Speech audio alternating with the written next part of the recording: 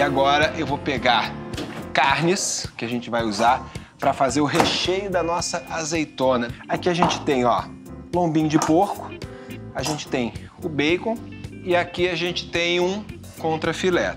Eu vou tirar aqui essa capa e aí eu vou cortar em pedaços bem pequenos, porque depois eu também vou passar no processador. Não mistura as carnes, porque a gente vai colocar de, de forma separada na, na panela, tá?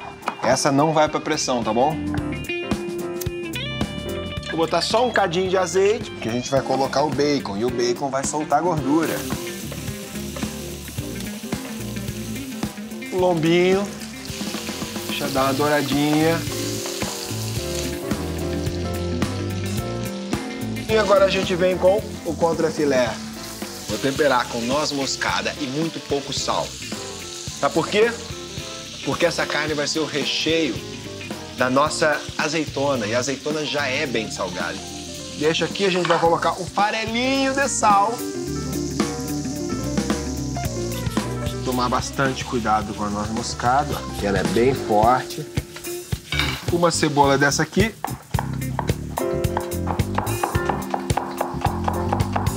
Bota a cebolinha. A gente bota um cadinho da água só para ir amolecendo essa cebola e amolecendo a carne. Para depois a gente passar no processador. A gente vai fazer o seguinte, ó.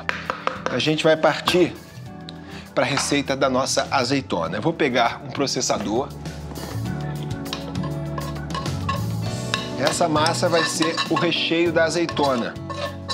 Agora a gente vai colocar aqui, ó, parmesão, os pedacinhos de parmesão, e a gente vai colocar também cheiro verde.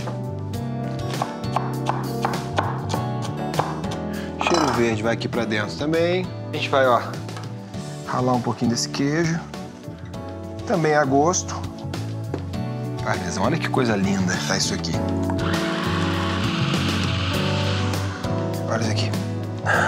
Hum.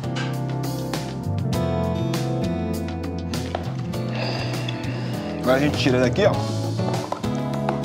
Deixa reservado aqui, a gente pega as azeitonas. Hum. A gente vai cortar aqui, ó. Meia bandinha dela só. Vai abrir aqui, ó. ó. Vai pegar o recheio e vai colocar aqui dentro. Aí você fecha e vai colocando aqui para depois a gente empanar, tá bom? Bastante azeitona, todas elas bem recheadas, mas ainda tá faltando a gente empanar e fritar. Calma, não tenha pressa. Deixa reservada aqui. A gente vai pegar essa azeitona aqui, ó. A gente vai fazer a mesma coisa, vai empanar a azeitona.